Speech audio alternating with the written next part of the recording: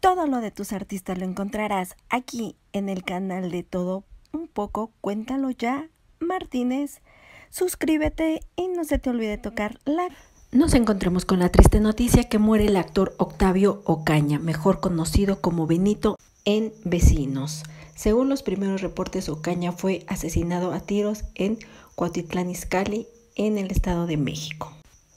Ciudad de México se dio a conocer que Octavio Ocaña, mejor conocido como Benito, en la comedia de vecinos falleció la tarde de este viernes. La camioneta en la que viajaba el actor quedó impactada en el lugar de los hechos. Al momento de la Fiscalía del Estado de México investiga a sus dos acompañantes quienes fueron detenidos por la policía municipal. Benito iba armado la policía de Iscali halló esta pistola dentro de la camioneta en la que iba el actor Octavio Ocañas. Según los agentes, todo comenzó cuando le ordenaron que se detuviera y no hizo caso.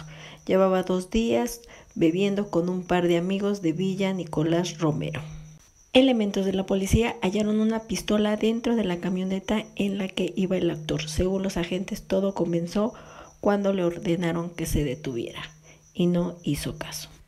El Milenio publicó también la muerte de Benito y ellos publicaron que fue un asalto. Octavio Caño habría muerto tras un intento de asalto. De acuerdo con los primeros reportes, el joven actor habría sido atacado a balazos durante su intento de asalto en la autopista de Chamampa, Lechería, en el municipio de Cuautitlán Izcalli, en el Estado de México. Según lo reportado, el actor viajaba en una camioneta cuando fue agredido y lo provocó que chocara y las autoridades en el lugar iniciaron los indagatorias. Elías Olorio, productor actual de la serie, publicó un mensaje en Twitter lamentando la muerte del, del, joven y puso, no lo puedo creer, descansa en paz mi querido Octavio, nos dejas muy tristes a todos los que te conocimos. Buen viaje Benito. A través de su página de Facebook, el canal de televisión restringida Distrito Comedia también lamentó el deceso y agradeció el trabajo de Ocaña, recordando unas situaciones características del personaje que quería ser actor en la trama. Gracias por todas las risas y los buenos momentos que nos hiciste pasar, Octavio Ocaña. Siempre te recordaremos como el pequeño Benito que quería ser actor.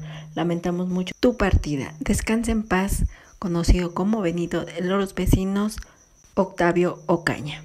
Muere el 30 de octubre del 2021. Descanse en paz, Octavio Ocaña.